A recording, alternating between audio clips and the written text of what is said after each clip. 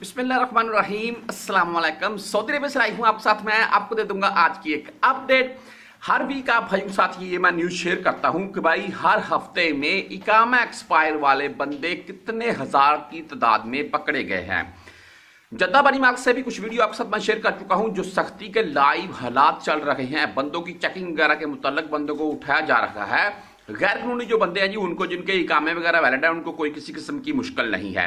تو یہ بھی آج کی یعنی کہ ایک ویک کی رپورٹ آ چکی ہے۔ آپ بھائیوں کو ابھی میں آپ کی سکرین کے اوپر دکھا بھی رکھا ہوں، جس میں آپ دیکھ سکتے ہیں ٹوٹل پندرہ ہزار چھ سو ترانوے افراد بائی اس ایک ہفتے میں گرفتار ہو چکے ہیں، جن میں مخالفہ نظام الاقامہ، جن کے اکامے ایکسپائر تھے، ان کی تعداد چھ ہزار تین سو چھتیس ہے جی۔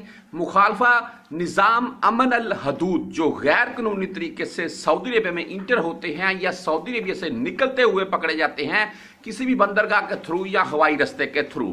ان کی تعداد ہے جی سات ہزار چار سو باون افراد۔ اور اس کے آگے لکھا ہوا ہے؟ مخالفہ نظام العمل۔ نظام العمل کے متعلق بھی میں آپ کو تھوڑی آگاہی دے دیتا ہوں، لیکن ان کی تعداد انیس سو پانچ یعنی کہ ایک ہزار نو سو پانچ افراد بائی مخالفہ نظام العمل والے ہیں۔ ابھی میں آپ کو ایک بات کلیئر کر دوں۔ میں ابھی کچھ مجھے کسی بندے کے تھرو یعنی کچھ جاننے والا تھا مجھ کو بول رہا تھا کہ ہم ایک بلڈنگ میں کام کر رکھے تھے، وہاں پر بھائی دوریت کا چھاپا لگا ہے، ٹھیک ہے؟ دوریت نے سب کے ہی کامیں چیک کیے ہیں۔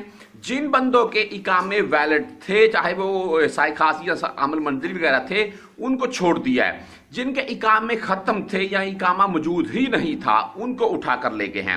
لیکن بھائی، آپ اس بات کے اوپر مت رکھیے گا، کیونکہ میں نے بھی اس بھائی کی بات سن لی بس۔ مخالفہ نظام العمل سے مراد بھائی یہی ہوتی ہے جن کے اکامے چاہے ویلڈ بھی ہوں، لیکن وہ مہینہ کچھ اور، کام کچھ اور کر رہے ہوں، کفیل ریاض کا کام دمام میں کر رہے ہوں۔ تو ان چیزوں کو بھی دیکھا جاتا ہے، بدون کفیل کے زمرے میں ان کو لکھ دیا جاتا ہے۔ تو بھائی ابھی اکامہ ایکسپائر والے بندوں کے متعلق بہت زیادہ سختی ہے اور جن کے پاس اکامے موجود ہی نہیں ہیں۔ وہ تو بھائی جب بھی ان کو مل جاتا ہے، اس کو تو لمبے عرصے کے لیے جیل میں رکھتے ہیں، پھر بھیجتے ہیں کہیں۔ تو اگر آپ کا اکامہ وغیرہ ایکسپائر ہے، اسے رینیو کیجیے، ورنہ بھائی سوارت خانے وغیرہ میں اپنے پیپر جمع کروائیے، اپنے گھر جائیے۔